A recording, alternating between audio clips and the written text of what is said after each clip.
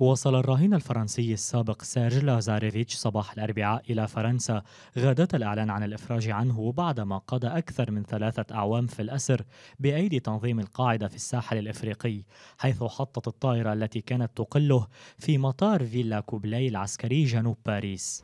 Je voulais juste vous dire que je voulais remercier la France أود أن أشكر فرنسا والشعب الفرنسي والرئيس وجميع الذين عملوا داخل الحكومة من أجل الإفراج عني وعن جميع الرهائن. أن يكون الشخص رهينة فهذا معقد قليلا الأمر ليس سهلا ولكن الحياة جميلة عند استعادة الحرية.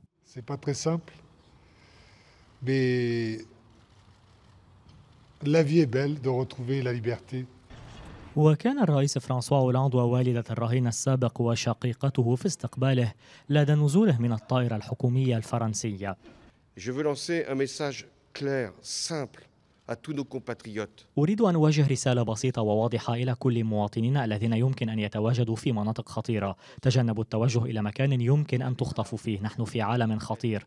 هناك مناطق يجب أن لا تقبلوا بالسفر إليها. إنها قواعد ونعرف الآن محاذيرها.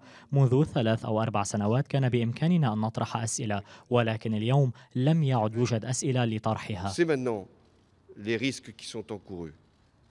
Il y a trois ans, quatre ans, on pouvait encore se poser des questions. Aujourd'hui, il n'y a plus de questions à se poser.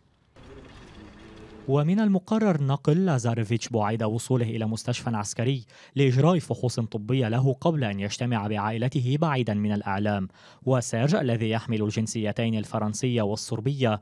خطف على يد مجموعة من المسلحين في الرابع والعشرين من تشرين الثاني نوفمبر عام 2011 في الفندق الذي كان ينزل فيه في مالي مع فيليب فيردون الذي كان يرافقه في رحلة عمل والذي عثر عليه مقتولا برصاصة في الرأس في تموز يوليو 2013